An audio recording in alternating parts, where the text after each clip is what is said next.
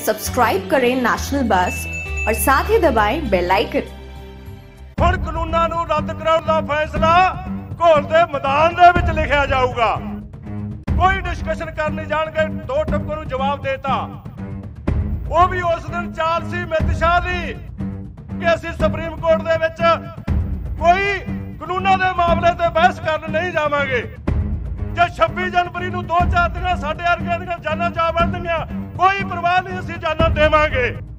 ਉਹਨਾਂ ਨੇ ਮੈਨੂੰ ਥਾਲੀ 'ਚ ਰੋਟੀ ਫੜਾਤੀ, ਚਮਚਾ ਧਰਨਾ ਭੁੱਲ ਗਏ। ਤੇ ਇੱਕ ਬੰਦਾ ਸੇਵਾਦਾਰ, ਦੂਜੇ ਸੇਵਾਦਾਰ ਨੂੰ ਕਹਿੰਦਾ, ਪ੍ਰਧਾਨ ਜੀ ਨੂੰ ਹਰਜੀਤ ਗਰੇਵਾਲ ਦਹੀਂ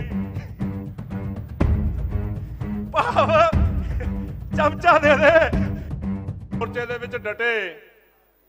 ਮੇਰੇ ਬਹਾਦਰ ਤੇ ਜੁਝਾਰੂ ਭਰਾਵੋ ਤੇ ਭੈਣੋ ਆਪਣੇ ਪਹਿਲਾਂ ਵਾਲੇ ਬੁਲਾਰਿਆਂ ਨੇ ਖਾਸ ਕਰਕੇ ਜੇ ਤੂੰ ਪਹਿਲਾਂ ਬੁਲਾਰੇ ਬੋਲ ਕੇ ਗਏ ਐ। ਸੰਯੁਕਤ ਕਿਸਾਨ ਮੋਰਚੇ ਦੀ ਜੋ ਤਾਲਮੇਲ ਕਮੇਟੀ ਆ, ਪੰਜ ਮੈਂਬਰੀ, ਉਹਦੇ ਮੈਂਬਰ ਹੈ ਗਰਨਾਮ ਸਿੰਘ ਜੀ ਚੜੋਨੇ। ਜਿਨ੍ਹਾਂ ਨੇ ਇਸ ਗੱਲ ਤੇ ਫੋਕਸ ਕੀਤਾ ਹੈ ਬਈ ਹੁਣ ਸਾਰੇ ਹੀਲੇ ਖਤਮ ਹੋ ਗਏ ਐ। ਸਾਰੇ ਬਦਲ ਖਤਮ ਹੋ ਗਏ ਐ। ਇੱਕੋ ਹੀ ਬਦਲ ਰਹਿ ਗਿਆ। ਸਾਡਾ ਘੋਲ, ਜਿੰਨਾ ਅਸੀਂ ਘੋਲ ਨੂੰ ਪਖਾ ਲਾਂਗੇ, ਜਿੰਨਾ ਘੋਲ ਨੂੰ ਫਲਾ ਲਾਂਗੇ। ਉਸ ਦਿਨ ਜਦੋਂ 8 ਤਰੀਕ ਨੂੰ ਮੀਟਿੰਗ ਹੋਈ ਹੈ, ਕੇਂਦਰ ਸਰਕਾਰ ਦੇ ਮੰਤਰੀਆਂ ਦੇ ਨਾਲ, ਜਿੱਦੇ ਉਹਨਾਂ ਨੇ ਕਹਿਤਾ, ਦੋ ਟੁਕ ਜਵਾਬ ਦੇਤਾ ਵੀ ਤਿੰਨ ਕਾਨੂੰਨ ਰੱਦ ਨਹੀਂ ਹੋਣਗੇ। ਐਮਐਸਪੀ ਬਾਰੇ ਕੋਈ ਕਾਨੂੰਨੀ ਗਾਰੰਟੀ ਨਹੀਂ ਹੋਊਗੀ।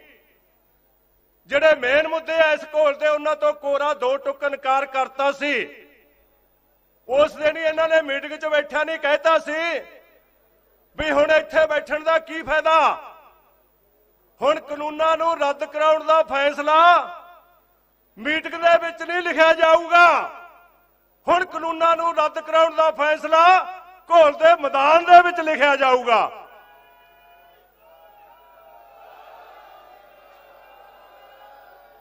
ਕੱਲ ਮੀਟਿੰਗ ਹੋਈ ਆ 32 ਕਿਸਾਨ ਜਥੇਬੰਦੀਆਂ ਦੀ, ਪੰਜਾਬ ਵਾਲੀਆਂ ਦੀ। ਤੇ ਉਸ ਤੋਂ ਬਾਅਦ ਜੋ ਆਲ ਇੰਡੀਆ ਸੰਯੁਕਤ ਕਿਸਾਨ ਮੋਰਚੇ ਦੀਆਂ ਜਿਹੜੀਆਂ ਪ੍ਰਤੀਨਿਧ 42 ਜਥੇਬੰਦੀਆਂ, ਉਹਨਾਂ ਦੀ ਵੀ ਮੀਟਿੰਗ ਹੋਈ ਹੈ। ਉਸ ਮੀਟਿੰਗ ਦੇ ਵਿੱਚ ਮੰਥਨ ਕੀਤਾ ਗਿਆ। ਫੈਸਲੇ ਕੀਤੇ ਗਏ ਆ। ਜਿਨ੍ਹਾਂ 'ਚ ਸਭ ਤੋਂ ਜਿਹੜਾ ਮਹੱਤਵਪੂਰਨ ਫੈਸਲਾ ਸੀ ਜੋ ਸਰਕਾਰ ਨੇ ਪ੍ਰਪੋਜ਼ਲ ਰੱਖੀ ਸੀਗੀ ਵੀ ਕੋਈ ਛੋਟੀ 8-10 ਬੰਦਿਆਂ ਆਗੂਆਂ ਦਾ ਗਰੁੱਪ ਸਾਂਝਾ ਗਰੁੱਪ ਡਿਸਕਸ਼ਨ ਗਰੁੱਪ ਬਣਾ ਲਓ ਤੇ ਉਹਦੇ 'ਚ ਡਿਸਕਸ਼ਨ ਕਰ ਲਓ। ਉਹ ਕੱਲ ਵਾਲੀ ਮੀਟਿੰਗ 'ਚ ਦੋ ਟੁਕ ਰੱਦ ਕਰਤਾ ਵੀ ਅਸੀਂ ਕੋਈ ਡਿਸਕਸ਼ਨ ਗਰੁੱਪ ਨਹੀਂ ਬਣਾਉਣਾ। ਡਿਸਕਸ਼ਨ ਮੁੱਕ ਗਈ ਹੈ। ਜਾਂ ਜਿਹੜੀ ਡਿਸਕਸ਼ਨ ਹੋਈ ਹੈ, ਪਹਿਲਾਂ ਵੀ ਚਾਲਗਾ 'ਚ ਹੋਈ ਹੈ, ਤੇ ਹੁਣ ਵੀ ਚਾਲਗਾ 'ਚ ਹੋਊ। ਕੱਲਾ ਕੋਈ 5 ਜਾਂ 7 ਜਾਂ 10 ਕੋਈ ਡਿਸਕਸ਼ਨ ਕਰਨ ਨਹੀਂ ਜਾਣਗੇ। ਦੋ ਟੁੱਕ ਨੂੰ ਜਵਾਬ ਦੇਤਾ।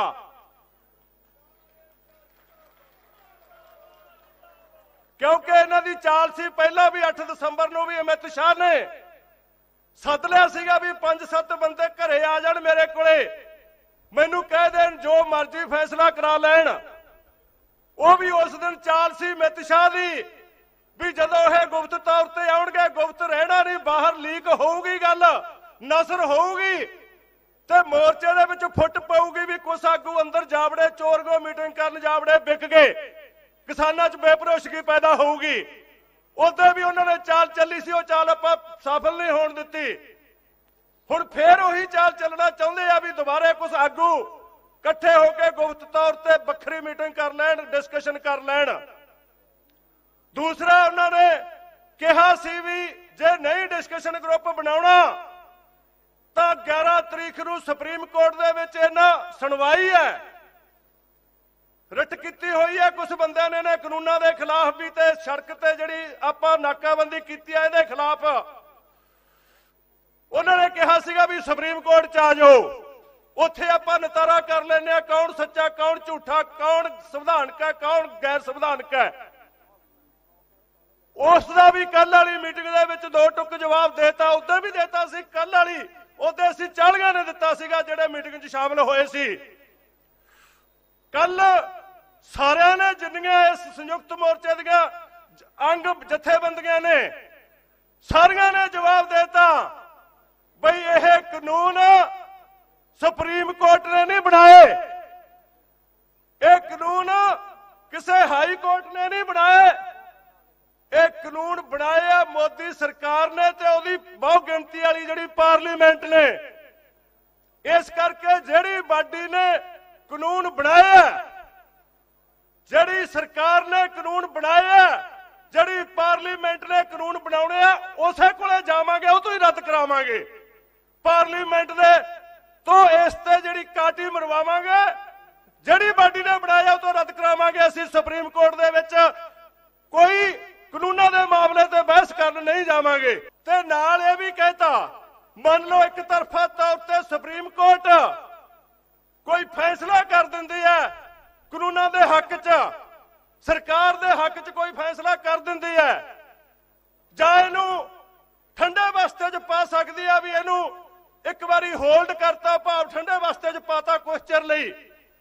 ਅਸੀਂ ਕਹਤਾ ਭਾਵੇਂ ਕਾਨੂੰਨ ਦੇ ਹੱਕ 'ਚ ਫੈਸਲਾ ਕਰੇ ਭਾਵੇਂ ਸੁਪਰੀਮ ਕੋਰਟ ਇਹਨੂੰ ਹੋਲਡ ਕਰਕੇ ਠੰਡੇ ਵਾਸਤੇ 'ਚ ਪਾਵੇ, ਖਤਮ ਨਾ ਕਰੇ ਕੁਛ ਚਿਰ ਲਈ ਠੰਡੇ ਬਸਤੇ 'ਚ ਪਾ ਦੇ, ਵੀ ਜਿੱਦੇ ਮਰਜ਼ੀ ਕੋਈ ਬਸਤੇ 'ਚੋਂ ਕੱਢ ਲੇ। ਅਸੀਂ ਸੁਪਰੀਮ ਕੋਰਟ ਨੇ ਜੇ ਕੋਈ ਉਹੋ ਜਿਹਾ ਫੈਸਲਾ ਕੀਤਾ, ਅਸੀਂ ਡਿਸਓਬੇ ਕਰਾਂਗੇ, ਅਸੀਂ ਸੁਪਰੀਮ ਕੋਰਟ ਦਾ ਫੈਸਲਾ ਨਹੀਂ ਮੰਨਾਂਗੇ।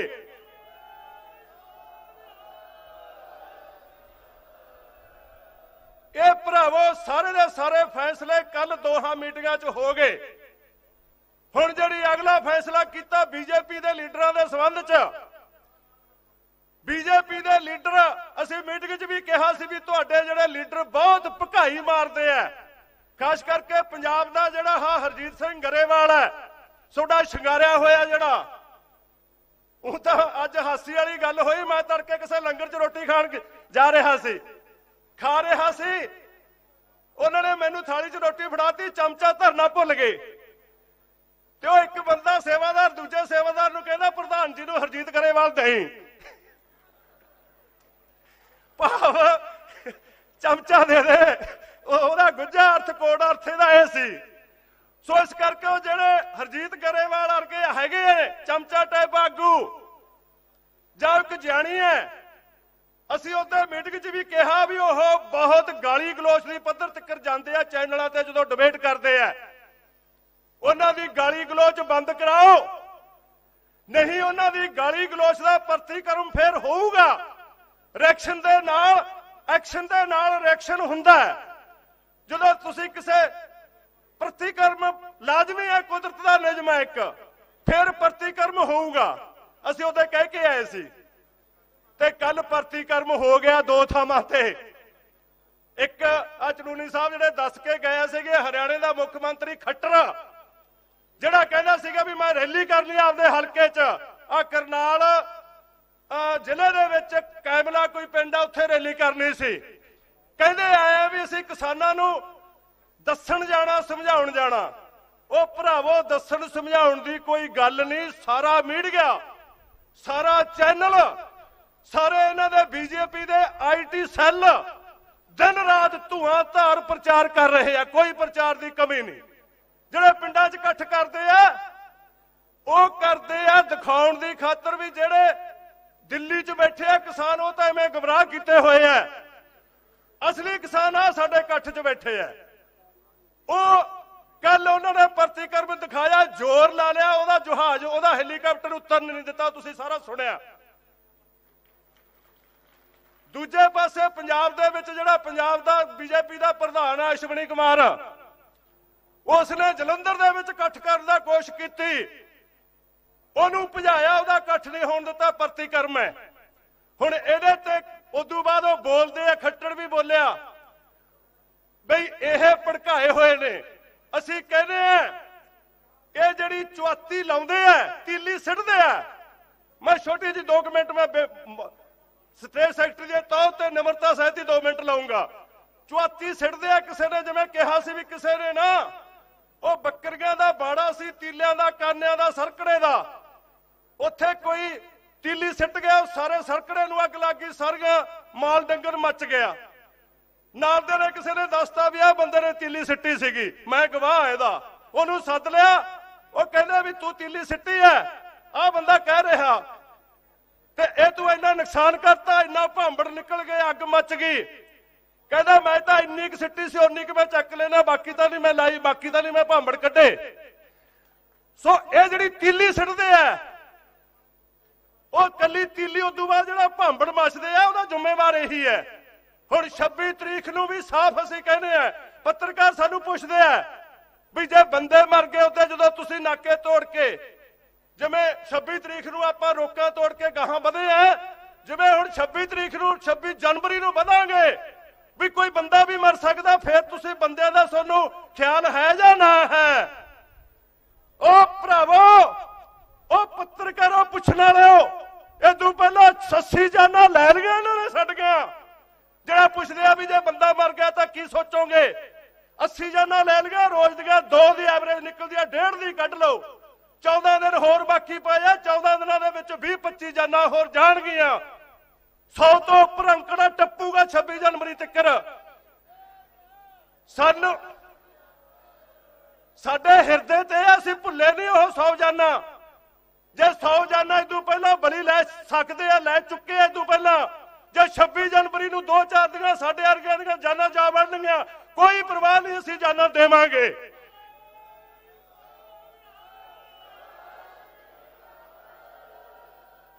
ਸਾਲ ਦੇ ਹੋ ਗਏ ਅਸੀਂ 60 60 ਸਾਲ ਦੇ। 70 70 ਸਾਲ ਨੂੰ ਟੁੱਕੇ ਆ। ਇਦੋਂ ਬਾਅਦ ਅਸੀਂ ਕੋਈ ਮੂੰਗਲੀਆਂ ਨਹੀਂ ਫੇਰਨੀਆਂ।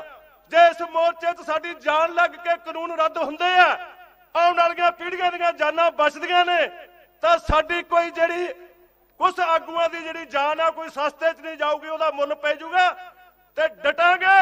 24 ਜਿਹੜਾ ਆਪਣਾ ਚਡੂਲੀ ਸਾਹਿਬ ਕਹਿ ਕੇ ਗਏ ਸੰਯੁਕਤ ਮੋਰਚੇ ਦੇ ਮੈਂਬਰ ਦੇ ਤੌਰ ਤੇ, ਉਹਨੂੰ ਲਾਗੂ ਕਰੋ। 24 ਤਰੀਕ ਨੂੰ ਇੱਥੇ ਆਓ ਤਾਂ ਕਿ 25 ਨੂੰ ਸਾਰੀਆਂ ਸੈਟਿੰਗ ਕਰਕੇ ਕਿੱਧਰ ਦੀ ਕਿਹਨੇ ਵਧਣਾ ਉਹ ਸਾਰੀਆਂ ਤਿਆਰੀਆਂ ਹੋ ਸਕਣ ਤੇ ਜਦੋਂ ਲੱਖਾਂ ਦੀ ਗਿਣਤੀ 'ਚ ਇੱਥੇ ਟਰੈਕਟਰ ਹੋਏ ਇਹਨਾਂ ਨੂੰ ਲਿਖਣਾ ਪਊਗਾ ਰੱਦ ਕਰਨਾ ਪਊਗਾ ਰੱਦ ਕਰਾ ਕੇ ਮੁੜਾਂਗੇ ਉਦੋਂ ਬਿਨਾ ਨਹੀਂ ਮੁੜਾਂਗੇ ਇਹਨਾਂ ਕਹਿੰਦੇ ਹੋਏ ਸਾਰਿਆਂ ਦਾ ਧੰਨਵਾਦ ਵਾਹਿਗੁਰੂ ਜੀ ਕਾ ਖਾਲਸਾ ਵਾਹਿਗੁਰੂ ਜੀ ਕੀ ਫਤਿਹ नेशनल बस पर लेटेस्ट न्यूज और एंटरटेनमेंट वीडियोस देखने के लिए सब्सक्राइब करें लाइक करें कमेंट करें और शेयर करें थैंक्स फॉर वॉचिंग